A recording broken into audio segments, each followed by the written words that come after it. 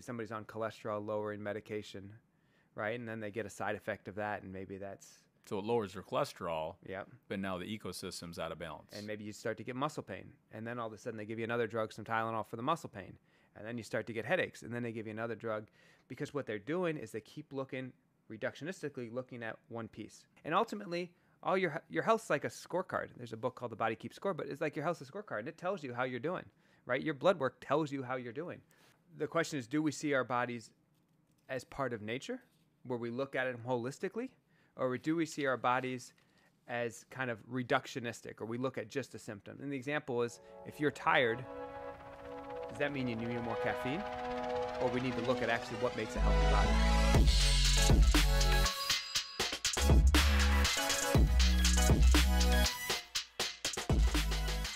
Welcome back to another Eat Move podcast. Uh, this is Chris today. I, I don't know again, Matt. I don't know where Matt is, but he's around here somewhere. But uh, we love him. We love our team. Uh, Rashawn's here. He's at the controls. Um, he is our our leader in this space, and you're going to see more of him as time goes on. I even have uh, Tab Wayne Jackson over in the corner. Uh, Tab is one of our executive coaches, uh, a lifelong friend, 74 years old, and he is a machine, and I love him like my brother. Um, but today we're going to talk about. Uh, I'm, I got a really special guest today, and his name is Dr. Jeff Crippen. And I've known Jeff for quite a while, and I know with both of his parents, he comes from a great family. And him and I are basically, I believe, um, we have the kind of the same passion and very similar beliefs in this space. And so when he came out with his new book, which we're going to get into, um, and his new book is titled Timeless Youth. And it just came out, and I went through it. And my wife will tell you when I was going through it, I was laughing um, constantly because some of his analogies were just absolutely right on the mark. But I'm going to give you a little bit of formal introduction, then I'm going to let him talk, and we're going to have a great conversation. So I hope you really enjoy this episode. But uh, Dr. Crippen's me- mission is to live life to the fullest and help others do the same. He is a chiropractor, nutritionist, and coach who helps others unlock their true potential. His passion stems from his own personal struggles. At age six, he began suffering from migraines. For the next seven years, his headaches continued to worsen despite the best medical care he and his family could find.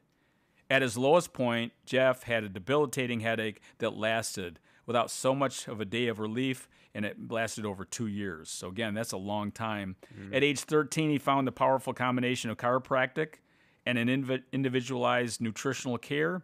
By combining these two powerful forces, he was able to unlock his own ability to heal.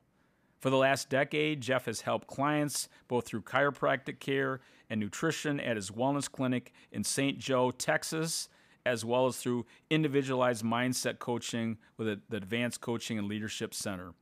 He finds a holistic approach, optimizing spirit, mind, and body, the most efficient and effective way to create a lifetime of timeless youth.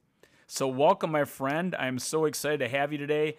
I know you're here from Texas with your girlfriend Bailey. So, again, we just gave you a little tour of a facility, but welcome, my friend. Awesome. It is. Uh, it's wonderful to be here, Chris. Wonderful to reconnect again. And it's funny as you were you were talking about the book. I, I we were talking a little bit before we get started. It reminded me of a conversation we had on the phone maybe five six years ago, and it was a conversation centered around why don't people get it, right? When you talk about doing the right things and, and the frustration of it's just so simple. Right? Not easy, but simple. And just why don't people get it? And I remember this conversation because you and I got into a, conver- a conversation about someone's worldview, or the word I'm going to use is paradigm, but the, the viewpoint and the way they see the world. And basically, what I look to do with the book and is make it clear there's a paradigm around medicine, and it's a lot of things. In the book, I compare it to the Titanic. I think the medical system in this country and around the world is like the Titanic. It is the biggest. It is the best. It has the nicest technology and the best bells and whistles. It's truly remarkable. The only problem is it's sinking right? And we can go through some of the stats on what that is, but I'm sure that's familiar to your, your audience. But the, the, the system is sinking. And the question is why? How can you have such great technology and such great doctors and such great minded, intentioned people and we're still as a country getting sicker and sicker and sicker. And that's kind of kind of the genesis of what I was thinking about uh, as we kind of worked on the book and, and worked to help patients. So let's go back in time a little bit about let's give the the listeners, the viewers, a little bit more like where you were. Again, we talked about that at age, you know, 13 and on up, but where you are today, tell us a little bit about your business and what really inspired you to go down go down this path. Yeah, so it's basically it was my own experience, right? So it it honestly it came out of frustration. like if I'm fully honest, the only reason I'm here today doing what I'm doing is because I couldn't find somebody else, um, or the people I tried to get help from didn't help me. So where that story started, I was about six years old, um, and I had my first headache. Um, and you know, it's kind of the, one of those things. You come home from first grade at that point, you kind of got a headache, and then it starts to get worse, and then it starts to get worse, and then you're going to see your pediatrician. Hey, my my you know my parents would bring me right? And hey your son's got uh, my son's got you know continuously migraines so it's uh, take some ib take some aspirin or children's motrin or children's tylenol and then eventually became aspirin and then it came ibuprofen. And i'm seven right? And eight. Seven. Yeah. And then all of a sudden you know you start looking at progressively worsening migraines in a kid that aren't responsive to traditional drugs right? Analgesics that's a red flag kind of symptom. You start looking for tumor or swelling of the brain or something growing, some kind of mass impinging on it. So that that led me, and you know, I'm eight at this point, so you know, you don't really know what's going on other than hey, we're gonna go see another doctor. But I just remember the frustration of, you know, nothing helping. You try the drug, and you know, you're taking ibuprofen. Says take every four to six hours. Well, if the headache doesn't go away, you're taking it all day, right? And if it doesn't go away for a week, you're taking it every four to six hours for a week, and then so you're constantly on it. Constantly on it. So it led us to. Um, so eventually they decide, hey, this is getting pretty serious. Got a CT scan. You know, so you lay down and you know you get the get the imaging, and it came back with a spot on it, and they didn't know what it was. So then they take you and get an MRI because we got to figure, hey, we got a spot on your brain. We don't know what it is. This could be a problem. Um, and uh, I remember sitting in the neurologist's office, and um, name was Dr. Wolf, uh, which is fitting considering some of the analogies we mm-hmm, give in the book. Sure. Um, but um, his name was Dr. Wolf, and he starts talking about uh, this mass they found in my brain, and it it's called a it's type it's type of tumor. It's not really a type of mass, a congenital cyst. So it's benign. Uh, they weren't sure if it was growing or not. Um, it's actually for any sports fans out there. Um, Urban Meyer, um, he had this particular type of cyst. He had really bad headaches connected to it. So, anyway, it's a congenital uh, congenital cyst in the brain. Um, and but he says, you know, we we found it, but we don't know if this is what's causing it, and we could do surgery, or we cannot do surgery. And at eight years old, you know, you're kind of thinking, I kind of thought surgery might be cool. I mean, as crazy as that sounds, it's like brain surgery. Because after I had suffered at this three, four years of headaches, almost, uh, you know, an incredible amount of time, and if somebody would have told me, "Hey, surgery might help your head," sure, you kind of do it, right? Because I, the, but the problem was that was my paradigm, right? And that's what I'm getting to. My paradigm was I have a symptom, you go to a doctor, and then you go to a doctor, and then you take a drug, and if the drug doesn't work, then you do surgery, and that was the kind of paradigm I was operating from. I I wasn't even aware that anything else existed. So that led me to that doctor's office that he said, "But I don't think we should do surgery," so I never did, and I remember feeling disappointed. Like, what do you mean? You know, I just kind of got hopeful that sure. maybe that surgery was going to be right. the answer. So, and then it ended up not being the answer. Um, so then you try different drugs and you go through that. So, and at its worst, as you said, it lasted for a couple years or nonstop, every moment, every day, having a headache. So you get through all of that, and, and I could, you know, it's basically, it was, you know, you know, tough, you know, living in, you know, that kind of sure, pain for, absolutely. for a couple years. And so you just start trying stuff and you have people come up to you like, Hey, I heard red wine's good for headaches. It was like, I'm 12. Then they heard some people say red wine might be causing your headaches. I was like, I'm still 12. You know, it's not the issue. And then maybe coffee's good for a headache. Maybe coffee causes headaches, right? You go through all this stuff, and it's just there's so much confusion out there in the area of nutrition. Like people just don't don't know most of the time, and yeah, some of that's probably deliberate. um, but I went through, and it just got increasingly frustrating. Go to you know other doctors, and you just try different drugs, try different things. So eventually I was trying, I was really, so I got to college and I was just trying to figure, I was trying, I took a f- medical physiology class, which is basically anatomy is the structure of the body, physiology is the function of the body.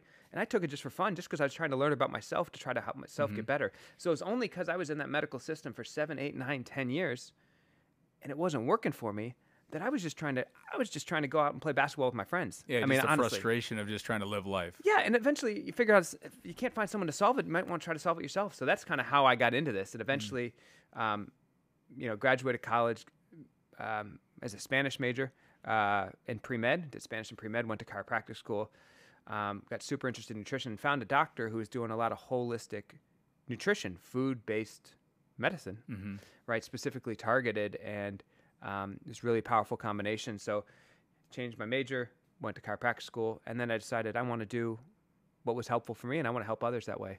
And that kind of took me to open my own office in 2011, and I've been doing that for a little over 10 years now. Yeah, and, and I, it was interesting when you were talking about your book, and at the very end, you were saying that if if you would go back in time and you said, "Say, I'm going to write a book," you'd Yeah. go, "I may be the last person that would be writing a book." So I'll tell you a funny story around that. So I went to college. Yeah. Oh yeah. This the idea. English was my least favorite Right, subject. that's what I, I had to laugh. I'm like, Throughout- English is your your worst subject, and now you're writing a book. So uh, just one quick story. So I, I was getting frustrated. Uh, I was actually ready to drop out of college. I was getting kind of frustrated with the kind of the education system or just college at the time. So I was thinking about dropping out. Then my parents were like, "Well, you should stay in." So I said, "I'll stay in until I figure out what I want to do next." And um, I looked at 13 different majors, including create your own major and have no major. The only major I was sure I wasn't going to look at was English. yeah, and I looked at a bunch. said, I'm going to be undecided. I'm going to create my own major, but it sure is not going to be English. yeah, yeah, exactly. Yeah. And turns out, so the ultimate irony Yeah. of the universe, you know, Yeah. is um, I love it. Here I am with a book, so it's Right. it's funny. So when I was reading your book, so again, I really would like to kind of we can go through Yeah. uh, kind of some of these areas, and I think I think you know, the listeners will really enjoy kind of how you broke this down and it basically um, different sections. So I want to begin with you start out your chapter one is called the Titanic problem, Yeah. and you know I think everybody uh, is familiar with the whole disaster of the Titanic, but walk us through a little bit about that, and then I got some other points on here. But I just really liked how you opened up the the book with the Titanic. It really got my attention right away. Yeah, so as I said, I think the Titanic is the biggest. It was the biggest and the best. It was the most technologically advanced, and they had wireless transmitters that could transmit so so far, and they're farthest of any ship available. And they had the watertight compartments that they kind of showed in that movie Titanic. But it was basically this technology that made this ship unsinkable. So it was unsinkable for the day before it left port, and five days later, it's at the bottom of the Atlantic. So the question is, what happened? Right? How did the best technology and the best people and the best intentions fail so spectacularly? And unfortunately, that's what I think what's going on with the medical system today, and that's been my experience with it. And I don't think it's changing and probably continuing or getting worse. And you know, one study I, I put in there is, is, a, is a study called "Death by Medicine." It's a Dr. Gary Null did the study, and mm-hmm. basically in this country, you know, heart disease or cancer kills about 600,000 people in the United States, and it's it's very similar worldwide. But I got the numbers on hand for the U.S. and and and you know, heart so cancer is about 600,000, heart disease 700, 750,000 a year. Um, and Dr. Null said medicine is killing up to a million people a year. So between correctly prescribed medications, incorrectly prescribed medications, you know, what's called nosocomial infections, which are basically hospital infection, you add up all of the side effects of our traditional medicine system, and it's killing close to a million people a year. And in fact, there's something else is, you know, occasionally doctors go on strike. It's very rare, but they can do, go on strike. And they've said they actually studied what happens to the death rates in different countries when doctors go on strike. And when doctors go on strike from elective, they, they still practice emergency medicine, but they go on strike from all elective procedures, death rates go down. And this has been shown in California, this has been shown in Israel, this has been shown across countries that death rates go down when doctors go on strike. So you have to wonder what's really happening there. When I, and I really liked what you started out with the, with the Titanic it, is why did it sink? Yeah. And and really you narrowed it down to one thing, and that one thing is that it was not going to sink. Yeah, they thought it was unsinkable, It's unsinkable. right? Because So you had all the you know the the, the icebergs had moved here. Yep. The, the, the you know the way the sky was, and then you used the analogy. Well, I don't know how many vessels did the same exact path, but none of them sunk. Yeah, I think in the in the previous X amount of time, there had never been a worse a disaster in like the 20 years. So how the yeah, exactly what you're saying. How many other boats crossed the Atlantic Same at that thing, same time? Same everything. and we're fine. So what was different about the Titanic? And what was different is they went in with the viewpoint that says this is unsinkable. So going Captain too S- fast, exactly. So Captain Smith didn't slow down. didn't slow down. He sped up, and they were Right. trying to set records, and they didn't. They said, "We're not going to sink, so you Doesn't know, matter." We don't need the we don't need the Right. lifeboats, right?" So it was just it was that whole viewpoint was warped, right. and that influenced the actions, and then we got a disastrous result. And I think what you what you what led into this is now let's talk a little bit about the definition of health. Yeah. So what is your definition of health? So what, what's really interesting is health comes from the root word meaning whole. So the root word of health is, is kalio, but it basically means whole. So health comes from the root word of wholeness. So I define health in the book as a state of optimal, you know, a state of optimal function, spirit, mind, body, right? And and then you think, and I get kind of give the example of the book is like, when's the last time you walked into your doctor's office and say, "Hey, I'm looking to have optimal function of spirit, mind, and body. How can I help you?" you know, the problem is they probably put me on a drug, like some kind of mental drug, which, you know, for something like that. But the system's not set. up. The point is, the system's not set up. The system is not the medical system in this country is not set up around optimal function of spirit, mind, and body. It's set around treating disease. And I think the point of this podcast today is we're not trying to beat up the whole No. medical world. We're trying to create more awareness Yeah. that it, it, it's the Titanic. It's going to sink. It's already sinking, but we all have to get in the game of that. And I like what you said earlier that the traditional healthcare model today is there's three steps. So walk us through the real, and they're so simple, but it's so true. Every time I, I, like you said, if I walked in and said I want optimal health, what does that mean? Or I want to feel uh, amazing, or whatever it might be. The system's not set up for that. But what the system's set up for is a three-step process. The first one is you have a symptom. You walk in there, I've got knee pain, I got headache, I have blood pressure. Great, your doctor knows exactly what to do. The second one is diagnose the problem, and the third one is give you a drug or a treatment for it. Right? The whole medical system, it's it's you know very efficient at Right. treating disease, Right.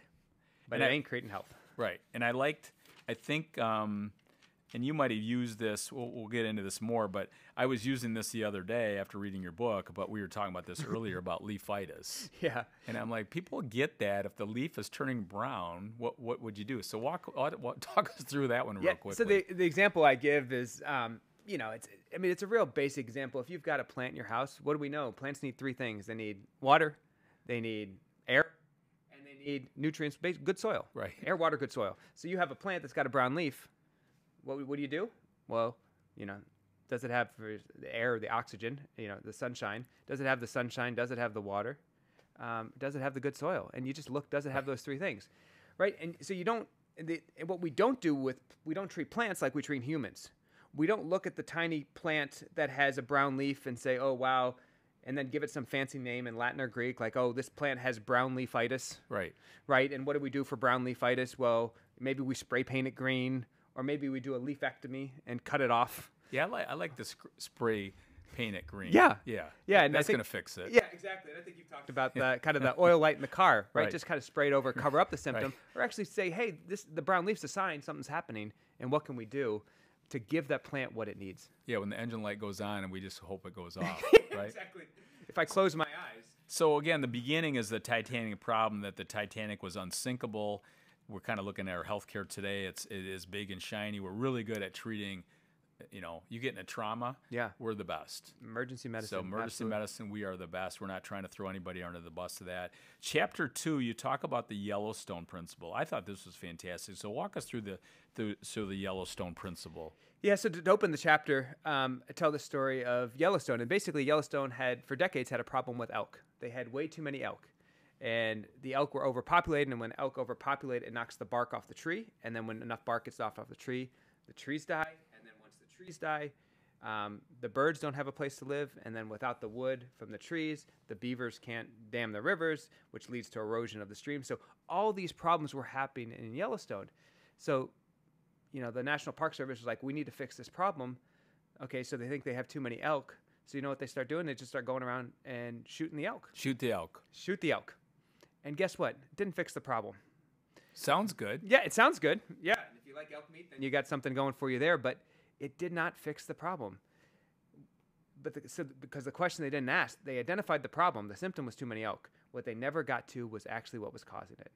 And turns out The source. the source of the problem. Yeah, the, the source of the problem was not a lack of hunters, right? That's not what caused the problem. What caused the problem was actually they removed the wolves um, from Yellowstone in the 1930s. Uh, they killed off all the wolves. So what they what they finally did after shooting the elk and trying to do all these things, they reintroduced 13 elves in the 90s to Yellowstone. 13 elves in Yellowstone, and Yellowstone covers three states. It's 2.2 million square miles. So three. So they just brought some wolves back slowly. Yep. Introduced them in there. Introduced the wolves back to the ecosystem. And then what happened is some of the wolves ate the elk, but also just the presence of the wolves moved the elk from the plains into the more wooded areas where they can protect themselves better. And because of that, the trees weren't, the bark wasn't being scraped off the trees. The trees came back. The songbirds came back.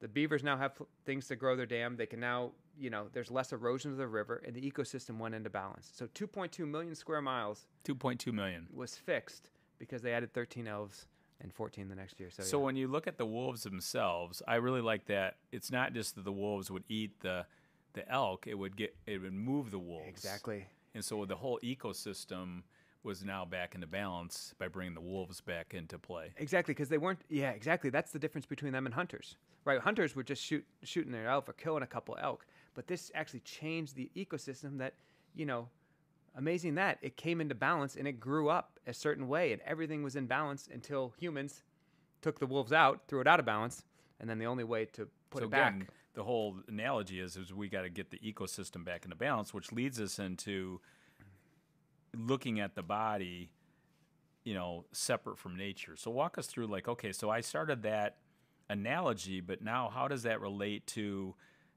because again, you're talking about the whole ecosystem versus the parts. Yeah. Yeah. So the question is do we see our bodies as part of nature, where we look at it holistically, or do we see our bodies as kind of reductionistic, or we look at just a symptom? And the example is if you're tired, does that mean you need more caffeine? Or we need to look at actually what makes a healthy body. Like when I had a symptom of headaches, the doctor saw here's a symptom, let's let's shoot the pain. Let's give you a drug for it to handle it. But that actually didn't answer the question of why I had the pain in the first place. So if they would have looked at me like a plant and said, "Well, what does the body need?" Well, I need to optimize my diet. I need to optimize my movement. I need to optimize my rest. Yeah, And I like the word optimize. yeah, Let's work at the foundation. exactly. Yeah. Yeah. and and not you know, I'm thinking rest, eat, move from your last book. I mean, that's the foundation of it. But it's like, it's not perfect. It's not be perfect. It's optimize. It's move slowly better towards that way. And ultimately, all your your health's like a scorecard. There's a book called The Body Keeps Score, but it's like your health's a scorecard, and it tells you how you're doing. Right? Your blood work tells you how you're doing.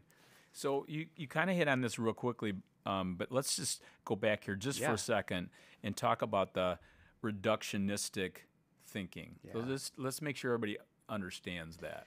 Yeah, and you know, I think we see this a lot, and you, you know, you see it a lot with medications, right? Somebody has, and I give the example of books. Somebody's on cholesterol lowering medication, right? And then they get a side effect of that, and maybe that's So it lowers your cholesterol, yep. but now the ecosystem's out of balance. And maybe you start to get muscle pain, and then all of a sudden they give you another drug, some Tylenol for the muscle pain, and then you start to get headaches, and then they give you another drug, because what they're doing is they keep looking reductionistically, looking at one piece, mm-hmm. looking at one symptom and giving you something for that. Or you have a doctor for your heart, and you have a doctor for, you know, your kidneys, and you have a doctor for your liver, right? All these, the more, the more specialized someone is as a doctor, the less they look at in the body, right?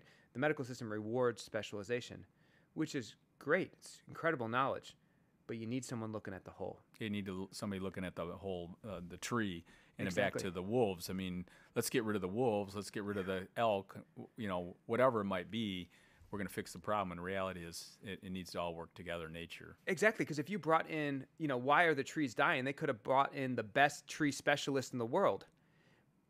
But if he was all he was doing was studying the tree, that wouldn't have told him there's no wolves in the Yellowstone, right? If you look only at why the tree's dying, you'll get one answer. But if you step back and see the whole thing, then you can see all those dynamics and how they how they interplay with Yeah, each other. the songbirds go? Maybe the songbirds didn't like living there anymore. yeah, yeah, exactly. That wasn't the case. no, right? exactly, exactly. Yeah. All right, so that so that kind of gives us an idea. So the Yellowstone principle is really back to looking at the whole ecosystem. The whole's greater than the sum of its parts. Yeah. So that's kind of the takeaway there. Yep. On chapter three, I, again, we're from you know Lansing, Yep. Detroit. We're a car manufacturing Yeah. capital of the world at one point in time. Still a big part of that. But chapter three is called the Model A principle. Walk us through that one.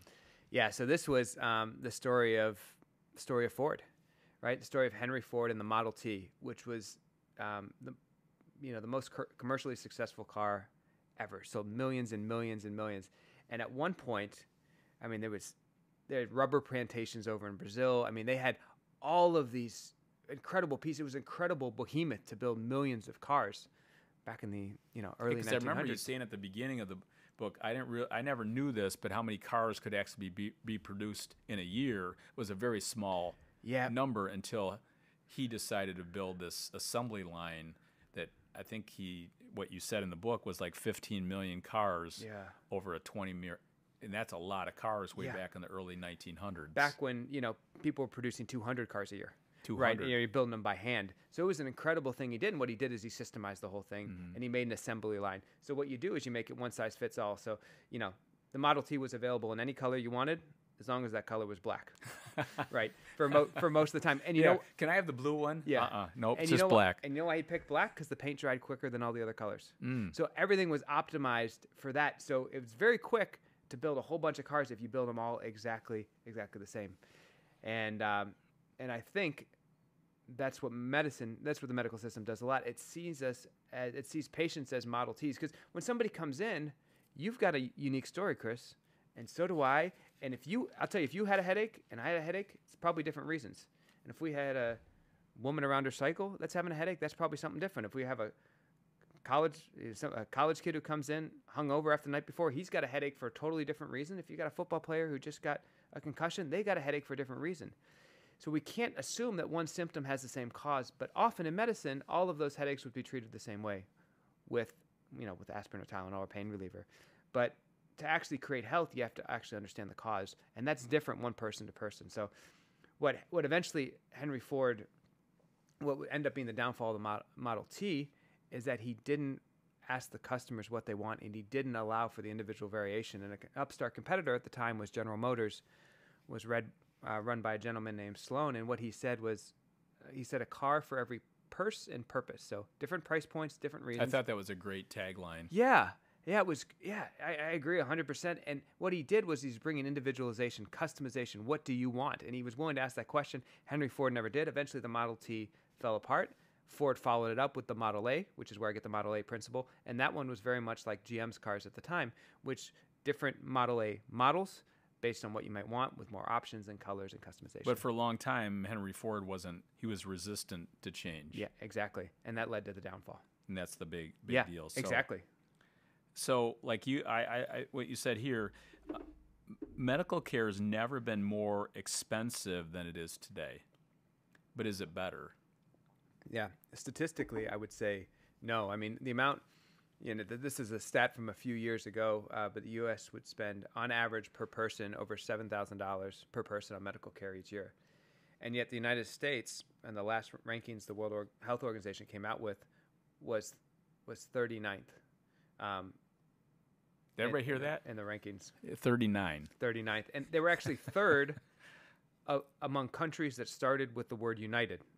Both the United Kingdom and the United Arab Emirates were above them. I mean, Costa Rica was directly above the United States. So we think of we have all this technology and we have all these great people and incredible, you know, some of the U.S. medical colleges are some of the most revered in the world. But we do have to look in the mirror and say, with all of that and with all the money we're spending, we spend more than twice as much as any other country in the world on medical care. Well, and I think I think you you know you and I both agree to this, but there's not a lot of looking at like if you looked at how we're trained and how we're educated, it's not on the radar screen. It's and it's just like the Model T. We're not willing to change that. It needs to change. My son asked me a long time ago, "What would you change, Dad?" I would change the educational system. so, and I think the other thing too I want to touch on here is behavior and epigenetics. Mm. So why don't you just educate everybody a little bit more about why it's not your you know it's not your genes or it's not your i'm you know pass this down from generation to generation but how your behavior matters Yeah, so so the idea of the kind of the genetic revolution was happening in the 90s and the idea that they were looking for a gene for everything. Even I remember at one point they were looking for the happiness gene. If we could find the happiness gene, then we can make you happy.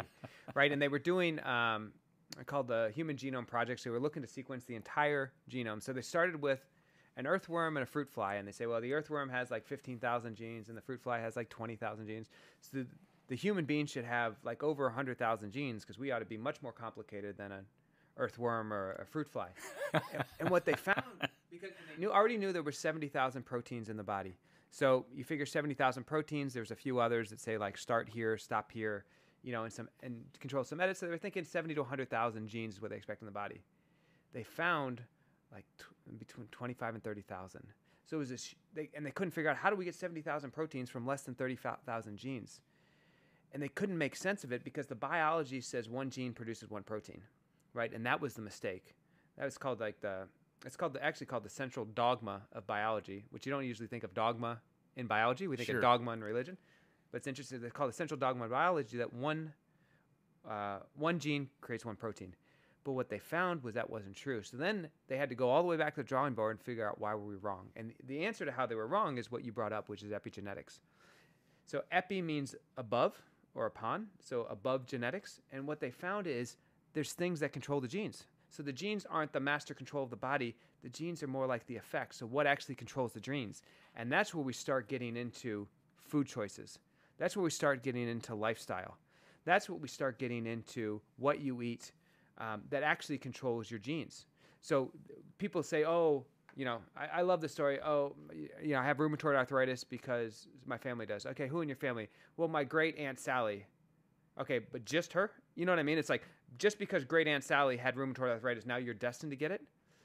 I don't think that's true. And or my family has a high level of cholesterol, or my exactly. I, you know my family has high blood pressure or whatever. and the, statistically, genetic genes count for about three to five percent of all disease. You look at heart disease, you look at cancer, you look at things others. There are true genetic diseases, like Down syndrome would be one. That's a true genetic disease. That's, but most most diseases, it's three to five percent of all disease is genetic. So, so the question is. If, if diseases do run in families, which totally happens, that absolutely Correct. true. You For tons sure. of people. What else runs in families other than genes? The way you handle stress, the way you eat, you know what kinds of food you eat do you exercise do you not all of all of those things also get passed down from family member to family members and can be much more powerful than the genes Well, I like how you said it's above the genes. Exactly. It's easy to it's easy to I think for people to comprehend that it's above. So if it's above, that means I have control. My behavior Exactly. is is also so. For example, you know, like in my wife's family, cancer is very prevalent. Yeah. You know, her mother died at you know 60. All of her uh, aunts died before 60. So obviously, it's a big Yeah. red flag. But again, again, everybody has that genetic Yeah. footprint but what can we do and i think that's the point when you're talking about this here is that there is opportunities to to change Yeah. and and whether it's the model t or you look at your lifestyle that you're not doomed you know if i do Yeah. want a, a car i don't always have to have it in black and Yeah, it doesn't have you know a cruise control or whatever yeah it might yeah. yeah be. There's no iphone chargers in the original model t right? Yeah. So so I thought that was really interesting because again, is the master control of the body. But I think I loved how you kind of weaved it into this whole that you know we we can't be resistance to change. One size doesn't fit all. Yeah. We have to like if I if they have three people have headaches, you got to dig, dig deeper Yeah. into it and say okay, what's causing that, and the, the list goes on. yeah So absolutely one one thing to add on that genes is I did, the simplest analogy for genes is just think of books in a library that's your genetic code epigenetics says you get to decide which books you read right, so the books are on the that's shelf That's a great way to put it. doesn't mean you have to read it. So your mom, your your wife, may have some books on the shelf that have cancer in them, but she gets to choose through her lifestyle, you know, which one she chooses to read. Well, and I think everybody has their books on the shelf, Yeah, absolutely. so I'm gonna write that one down. Yeah, I'm gonna steal that one from you. yeah, great. But it's what you read. It's it's are you do you choose what you read? Yeah. And that's and that's what we do. You know, that's what you do through what you eat. That's what you do through, you know, the wheatgrass we're having here. That's what you do through Yeah. your. Yeah, I'm torturing him, but he, he likes it like I do. So, Yeah. all right. So, chapter four. Now we're getting a little deeper here. I thought this was a little deep, but Yeah. it also is amazingly powerful if you get the whole big picture, and that's called the quantum principle. So, talk about the quantum principle. Yeah. So this one, um, The power of no thing. Yeah, no. uh, Basically, it's the power of nothing. So if you look at, um, I, I begin telling the story of a fifth grade, um, a fifth grade class, fifth grade science class, and my teacher, uh, Mrs. Stanza, gave us homework, and we each had to make a model of an atom. So you can make a you know, helium or hydrogen or calcium. You make a model, and then you put the little electrons around it. And if you remember that, you got the nucleus to an atom, and then you got the little electrons around it. I had to make a model. So I made a model. What I found out is the whole model was wrong. So I made a little. I made an. I made. A, I put a. I drew. I, I hot glue gunned a bunch of coins to an orange mini basketball, and then bent some wires around it to kind of be the electrons, and put some pennies on that. Right, and that was my model my atom. I made it out of coins, and it was you know this big. The only problem is that's not the right model of an atom, and we've kind of known this for a while. Um, if if the nucleus of an atom was the size of a kernel of corn, the closest electron would be two football fields away. So we think we're built out of something, right? We, we're built out of atoms, we're built out of molecules, we're built out of things. The truth is that atom is 99.9997% empty. Only it's not empty, it's full of energy. So we're actually made of energy. Right? We were talking a little before about Einstein did one famous equation, E equals mc squared, which basically says it basically simply says energy is mass and mass is energy. But the, the, the idea that the basic building block of the universe isn't something we can touch. I mean, I'm sitting on this chair. I'm touching that table, but it's made of energy. So everything is made of energy. And so what I what I wish knowing this now is I would have taken nothing to Mrs. Stanzik and turned that in and said this is an atom. And I had nothing but an empty box. you could have been outside playing and not having to worry about doing much exactly. homework. and if I did that, my actually model of the atom would have been much more correct than all the people who spent the time hot gluing coins to a mini basketball. So kind of what you're again, just so hang on everybody. this is a little deep, Yeah. but uh, what Einstein says that mass is energy and energy is mass. Yeah. So that's I mean this is this is a big deal. So so let's I want to take this a little deeper here. Yeah. Because and I I loved what you said here, but what we in, ignore in medicine is energy. Yeah. So the more I've been doing this, the more I realize we need to spend a lot more time teaching energy, talking about it, educating. So it's not like some craziness, Yeah. quantum, you know, principle that people are like, "Oh, this is too spooky for me." Yeah. But kind of walk us through that. That we ignore in medicine is the energy. Yeah. And, and, and we're, you know, we're skirting around a little bit of the woo woo zone out here, but it's incredibly powerful. And one example I give in the book is, you know, you know, if I, we ask most people what causes heart disease, um, they say cholesterol, right? And they say, you know, I takes why I take my statin. Um, most people who listen to your podcast have, you know, learned otherwise for good, you know, for and rightly so. But the idea is there's a certain thing that you're looking at as the cause of heart disease.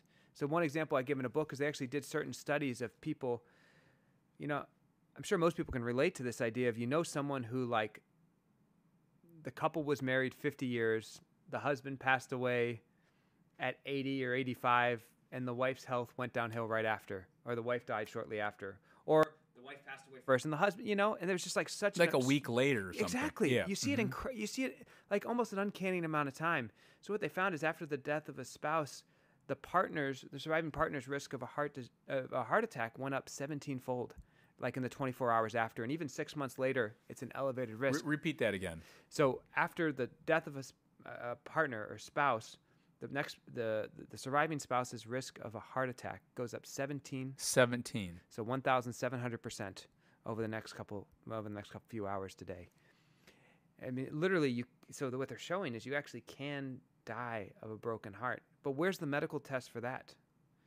When's the last time you went to a doctor and you know, probably know people who went there and were prescribed statin drugs. But when's the last the last time they asked, "How are your relationships?"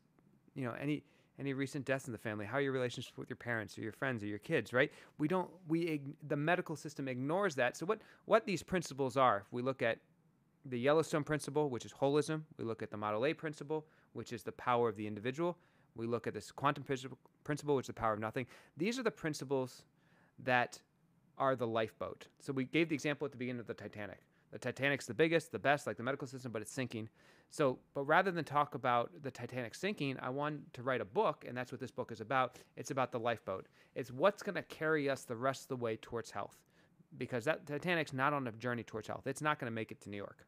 Spoiler alert, right? So, what is the lifeboat that's going to get us there? And the lifeboat is based on these five principles. So, And I- that's the quantum principle. And. I really like what you said. Okay, so back to the heart Yeah. attacks. It, we're going beyond things. Yeah. And I like that where you said no things Yeah. or nothing. yeah, So one potential cause of a heart attack, and everybody gets this, is stress. yeah, But stress is not a tangible thing. exactly. Let me touch it, feel it. Yeah. Where is it? I, I- you know. Yeah. So again, back to the energy. It's really hard to debate that. we- I think you would agree. I would agree. Probably eighty percent of healthcare challenges are stress related. Yeah, it, And that's energy. It's not mass. It's energy. that's the point. You know, and, and there's an you know not to go too down too far down the quote from Einstein, but he's, he at one point he said, "The field is the sole governing agent of the particle." So what he says is, if you want to control a particle, a piece of mass, you manipulate the energetic field it's in, mm. and that's what stress is. Yeah. Right? Stress is the energetic field we all live in, right? And that field can be positive, uplifting, supportive of healing, or it can be p- more prone to disease. But the point is that a true holistic healing system would recognize that and recognize the power of nothing or no thing mm-hmm. or the power of energy. And I think the other analogy you used is when you look at mental health, for example, um, according to a popular thinking, is depression is caused by a chemical imbalance. Yeah. So walk us through that a little bit because you hear a lot with our today. You know, there's a lot of mental health, um, anxiety, depression. The list goes on and on. But one of the major um, co- uh, contributors to depression is is is less. We we, we can't touch it. Yeah. We can't. So walk, talk about that. I really liked when you were talking about that. Yeah, so mental. Uh, so since then, they've actually, I think it was mid last year, they actually came out with a huge retraction of those original studies that it was based on. So actually, there's some fraudulent research done to prove what's called the serotonin hypothesis, which is basically a deficiency of serotonin is why they give depressant drugs. So that was actually proven as a medical fraud, just what it's even based on. But the idea was they would give you a drug to manipulate what's called the serotonin receptors in your brain to try to change your mood. Anyway, it worked. Those drugs work 30 to 50% of the time. You know what else works 30 50% of the time? Hmm. Exercise. right? Motion creates positive emotion, right? You're exactly right. Mm-hmm. Emotion is energy in motion. Right? You're 100% right. So Back to the energy. yeah, and mm-hmm. e- so exercise is as effective as two different, um, two different antidepressants, and then we can look at you know, sugar's effect on mood. There's a great book called Sugar Blues, mm-hmm. which basically talked Yeah. about you, dep- you deplete a lot of B vitamins and minerals that are important for the brain health, but you, you you step back from all of that, and at the beginning. Those drugs were only designed to be taken for a year while someone got counseling to deal with the loss that comes up because, you know, depression's a real thing It's a real thing. and you know it hits us and there's there's been moments i tell a story in the book when they actually put me on a low dose antidepressant uh, it was called elavil and i was on that um, as a preventative for headaches or that's one of the things they tried through my journey and uh, that drug now has a black box warning on it that there's a that shouldn't be prescribed to teenagers because there's an increased risk of suicide um, and violent behavior and i um, tell the story of i was actually I'd never been as depressed in my life as I was when I was was I was taking that. Um, but I've you know So you you- hear you're taking a, again back to leafitis. You're taking Yeah. something to help your headaches, and it's and there's another side effect. another another effect of it. But I heard a definition once of of depression as the loss of a game.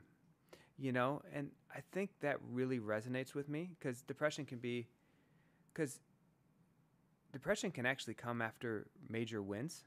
Like you think of postpartum depression, that whole pregnancy and going through, and you know, there's some physical things behind it, but like that's a great win of taking a pregnancy and having a baby.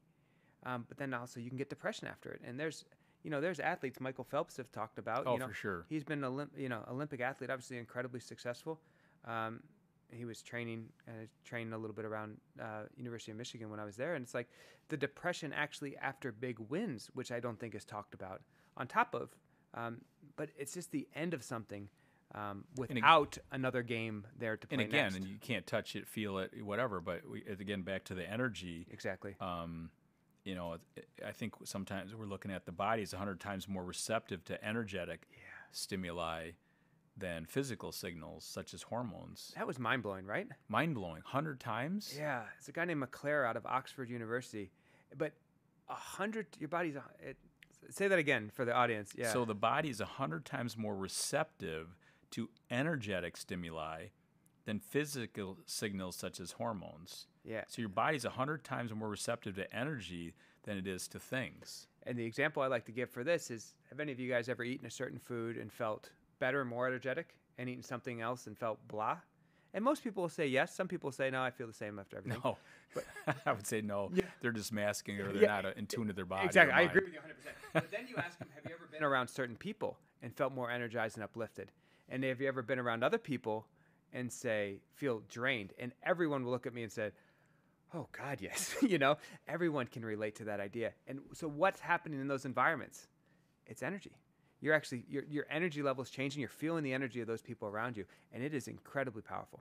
One of the things we used to do, as you know, back in the day, um, I was the director of fitness and personal training at the MAC. Yeah, yeah. And we would sit down with the trainers, and one of the things we would talk about is their clients. Yeah.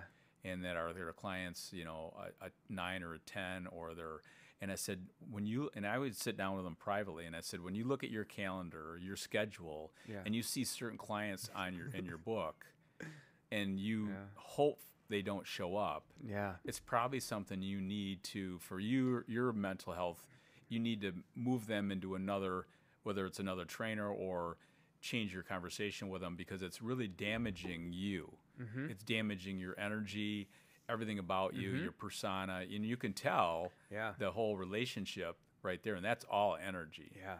and so their Yeah. trainers are eating healthy, they're doing that, that stuff. But if they have a lot of really uh, energy suckers, Yeah. then then that's that can really cause them to be, you know, not healthy in their own world. And so it was interesting. Sometimes they would say that to me, and and I would say, "Well, "Can you can you move the dial here?" Yeah.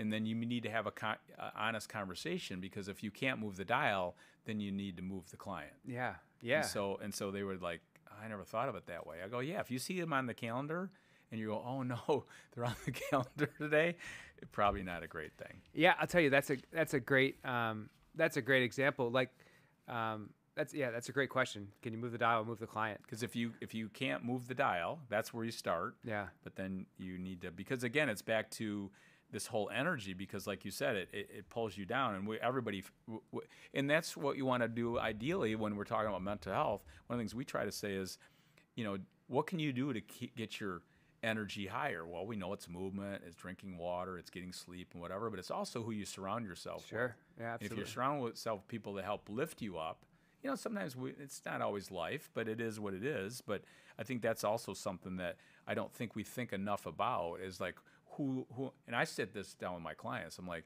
talk to me about your circle Yeah. because if your circle's taking you down it's probably not going to be a good thing for you mentally and physically emotionally spiritually whatever we want to discuss Yeah, So- and that's Matt's last podcast was on the power of you know, yeah, the one over um, was on gratitude and Right. thankfulness. Thank- right. I mean, that's one thing that I've how done. powerful is that That's one thing I've done. I do a gratitude journal every day, and I've done it for about eleven years. And I think you that's have like it in the end of your book Yeah, and I think yeah, exactly. And I put that acknowledgement. I, instead of calling it acknowledgement section of books, I called it gratitude. i loved it I felt like that's one of like the things that's been like really incredibly grounding for me. I spend you know five to ten minutes every morning doing that, and then doing it at the end of the day. And because you know we think about eating well, we think about working out, but what are the disciplines that we're doing? What are those? You know, shared earlier today. Like a discipline is like a one de- definition I really like is a set series of actions that leads to an expected end result. yeah i like that set series of actions Yeah, so it's a set series of actions that leads to an expected end result. So, what are the disciplines we can apply to work on our spiritual or emotional health? And for me, that gratitude process each morning, touch it each morning, touch it each night, has been great. And the power of that, so you say, okay, so that's fine, but what does that really matter? Well, based on research, if you wear a seatbelt, it adds one to three years to your life. If you handle high blood pressure, that adds about one to three years to your life. You know, optimize your weight, it's about the same. Um, optimists will outlive pessimists by between seven and 15 years. So your mood level is two to three more times powerful than your weight. back to Two the three field more- back to the energy Exactly. Mm-hmm. Two to three times more powerful than, um, you know, than the blood pressure and the weight and all that stuff. And, you know, all of that matters. And, you know, we put, you know, part of my life is physical disciplines as well and Sure. disciplines around food. But I think those those idea of emotional disciplines, I think there's a question of what are those things, right? And then how can you apply those? But do you give those because there's a lot of people who go to the gym every day, but they'll be upset while they're there, right? Well, and I think that's that's a takeaway right here for the listeners, the viewers, is that again we kind of we wait in the physical. Yeah. You know, let's do the exercise, Yeah. weight eating, whatever. But one of the things we want to make sure that you know your other discipline is, and again, I, I know myself. I catch myself sometimes, and my mood's low, and I'm like, anytime you can kind of move into the gratitude world, Yeah. Uh, everything comes up. Yeah. It's really hard to be grumpy Yeah. when you're and like you said, just because you go to the gym and you're miserable doesn't mean it's a it's a great thing. Yeah, something I like to joke about, and Bailey and I have talked about is like you kind of watch people run, right? And there's just some people are like very light and easy, but it's rare, right? Right. Most people, you almost feel like they're running away from heart disease. it's they're like like angry and they're are- miserable. Yeah, exactly. Hate it. Can't can stand almost- it.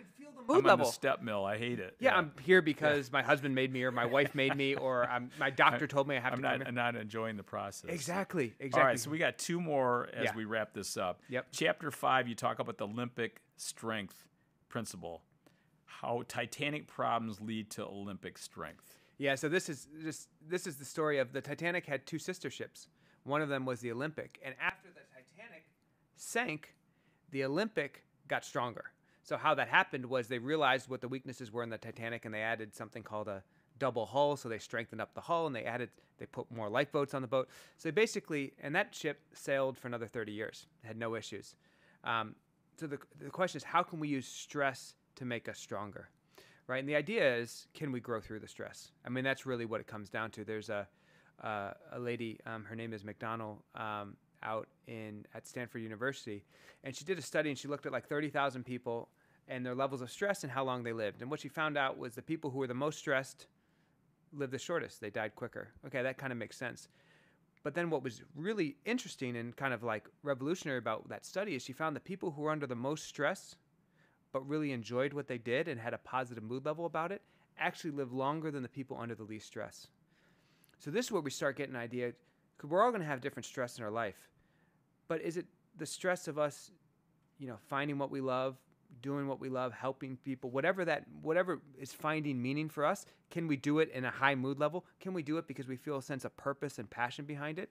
And that takes, you know, that takes work. It's not easy. It's Yeah. a, it's a, it's a journey, but if you can do that, that's how you turn stress, the negative, into a positive and actually develop strength through it. Well, I think what you're saying too is, um, you know, you can be symptom free in calm waters. Yeah. You talked about that. Yeah. You know, hey, I feel great, but I can't.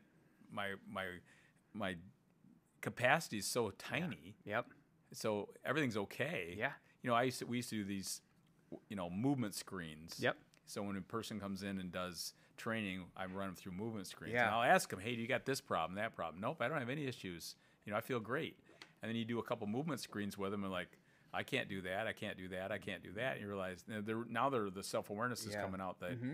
Maybe my calm waters doesn't allow me to do because you're saying I want to do this over here Yeah.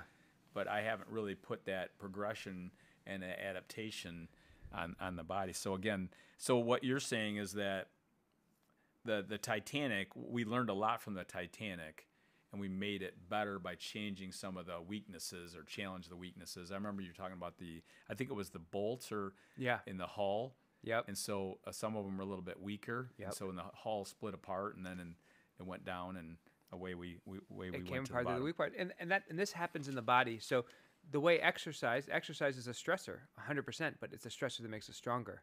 And one of the best things for bone health is a lot of people think, oh, I need to take calcium, or maybe they think I need to take calcium and vitamin D. And you know, one of the issues is most calcium that they sell is something called calcium carbonate, which Mm-hmm. is limestone, which is almost impossible to digest. Impossible. But what's missing is what you need to create bone growth is a signal from the body. You need stress.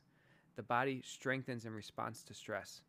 And so what that means is weight bearing exercise, mm-hmm. weights, running, trampoline work are fantastic triggers for the body. So you can use the stress of exercise, the stress of movement to actually create a stronger body. Yeah, how to create more balance, repair, build, just kind of keep going through that whole thing because you went through the whole thing of osteoporosis, and Yeah. Digestion, and autoimmune system, the hormones, the list goes on. But Yeah. again, back to, you know, how do we take what we're being, you know, pushed upon. Yeah. Because strength training is so, you know, we always talk about it's the fountain of youth. But what what does it do? Well, it puts adaptations to the connective tissue and the Yeah. bone and the muscle, and so the, it has to get better. It has to adapt. Yeah. And it has to it gets stronger along Yeah. the way. If you do it again, having that right rest and recovery and whatever that goes with that. Exactly. So the right kind of stress makes you stronger. Right. The wrong kind of stress, you do it without form, without rest, without recovery, without the right foods, you can absolutely injure yourself Yeah, break- or make yourself worse. breaks you down. The right kind of stress can make you stronger. That's the point of that chapter. Yeah. So again, the right. That's the the key is the Yeah. po- the right type. Yeah. Um, the last chapter is I had to laugh because that's the tagline of my book. Oh wow. That's the tagline of what we and that, what I mean by that is that the the last chapter six is a gold golden you principle. So walk us through that.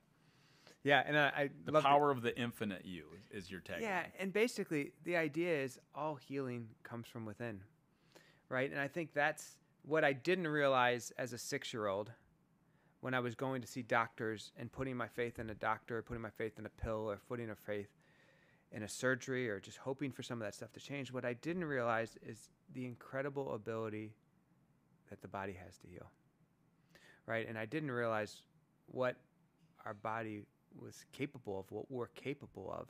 And that's basically it. Because a lot of us can be can go through hardships and we do, right? We've and just incredible hardships in life and one of them that was, you know, formational in my life or, was these headaches. So those headaches are a great example of and what I found is I actually have to unlock my body's own ability to heal. So I had to look what is actually what are the blocks or stops that I have in my own life. And that's what a great coach or a mentor or any kind of I use the term healer. Healer. Yeah, um, but a healer could be a doctor. It could be a physical therapist, could be a chiropractor, could be a nutritionist, could be a movement science person, could be acupuncture. I mean, there's many different modalities of healing. But I think the key with the healer is it's unlocking your own ability to heal or get better. And I think that's the huge takeaway of this whole entire book that the power is in you. Exactly. And you have the power, and the human body is incredible, its ability to heal and self correct. Exactly. But I think the other thing, too, I really liked what you were saying and said you don't have to take this journey by yourself. Yeah. You know, there's so many people out there. Like, I try to surround myself with people like yourself. I have a massage therapist, I have a physical therapist, I have a trainer I work with. I mean, a chiropractor. Eh, eh, You want to surround yourself with a lot and positive, energetic people. And there's a lot of things that go in play to because we're all going to get knocked down. Yeah. But we also have to remember that the magic is in you. You have that power, and we need to have that come out. But I, I, the longer I've been doing this, what you're saying is the human body is just. It, I always like, wow. Yeah. You know, I started working with a physical therapist re- recently for my hamstring issue, and she's opened my mind up that I need to do this a little bit more. Yeah. And I need a little, and I would have never known that. I just thought, "Ah, I just got to have a chronic hamstring issue. Yeah. So, so I think that's the whole power. That's the message today, that wherever you are, I mean, it's almost a gift that you were. I mean, it wasn't at the time, but Yeah. that you had headaches. That that's the point I got to. That's the point I got to, and that's that Olympic principle, right? That stress was very difficult. I wouldn't have wished it on anybody. It was, you know, what felt like hell to go through, um, but turned out to be but if you didn't go through that, you probably wouldn't be sitting here today. 100%. This this book wouldn't be happening. I've got a clinic. We've been able to help a lot of you know help a lot of people, and yeah, it just it's it's So I think think sometimes that Olympic principle, we all have to remember that that sometimes when we go through the worst things, yeah it's it's it's it's doing what it's supposed to. yeah, and it's, it's putting us on a different path. and it's hard as heck going through it. Oh, right? You know, it's it- brutal. it's hell going through it. Like I don't want to like sugarcoat any of this, and we've all gone through that. But within that, there's the opportunity for growth and getting better. Right. And just one thing my mom always said, and she'd be really happy that I'm sharing this. It's like that something good was going to come out of this. Correct. You know, and just like it was a constant like mantra sh- she had over those 10, 13 years is just like w- looking for it, and you just you keep doing the work, but looking for what's that positivity that can come out of it, and you know, thankfully, um, And, and, and you know you're blessed to have two really amazing parents that are very positive. But Yeah. I think whether it's relationships or the mind and the body, whatever it is, but sometimes we have to just kind of just say, hey, we're in a storm. We're in the, you know, Yeah. But we're probably going to be better when we come out. And most of the time, if we all look back and all the challenges we have in our lives, some of the worst stuff is sometimes the best Yeah, stuff. yeah. It's So so, that is the Olympic principle in, Yeah. in, in, in spades. So, yeah. all right. So as we wrap this up, is there anything else you want to share with us? I mean, to me, when I, I, I thought your book was amazing. Again, it's um, the five truths of transformational wellness and holistic healing. It's called uh, Timeless Youth by Dr. Jeffrey Crippen. Um, again, it's been a pleasure to you take the time today and talk with you. And again, it feels like you know, I, I mean, when I work with your dad and your mom comes in and works with Tab, it's just uh, you know, we always hear about what you're doing, and Yeah. you know, it's all good stuff. And you know, they're sharing, they're very proud of what you do and and what you become over the years. So anyway, sometimes you don't always probably hear that from your parents, but I do. So Yeah. is there anything else you want to share with anybody, with, with the listeners out there? You Well, think um, we covered everything. Yeah, no, I think I think this was this was awesome. So it's a real honor to come in, and it's it's like, you know, I, I live you know down in Texas, so it's you know fifteen hundred, a couple thousand miles away, but it's like it gives me a lot of confidence to know there's like great people here supporting my family. Sure. So I just want to appreciate you Yeah. and and Tab and kind of the team here because it makes it easier. You know, you always care about your parents, and sometimes you know it's great to be there close to them, but to know they've got a great team around here is is awesome. And I remember um, you eh, you got us involved in speaking in Guadalajara with Raul Yeah. and his whole deal. Yeah, And I remember that was I mean I remember when I took Matt with with, Yeah. with me Oh, and I the remember that. Yeah. All the all the all the uh, women love Tab. Oh, They want to touch him. And, We're on this you know, soccer field in the middle of Guadalajara, Mexico, and you guys how are many leading people workouts. did we have there? Uh, at, at some of those events, we would have easily had 700 to 1,000. I remember we're on the soccer field doing workouts. Yeah, I remember that. We're up in the stands doing that. That was pretty amazing. Okay, And, and yeah. Raul, Raul, when I saw him in your book, he was he was just a. We had a great time with those guys, but Yeah. that was again you connected the dots and that all worked together. So we went there three years in a row. It was pretty incredible. So Yeah. No, that was awesome. Uh, the book, um, it's, it's awesome to be here. Great timing. The book came out now, Tuesday. how can they get a hold of the book? Yeah, so the book came out Tuesday, so it's um, you can find it. It's available through any major bookseller. So it's on you know Amazon, Barnes and Noble. Um, you know you can find it at any bookstore.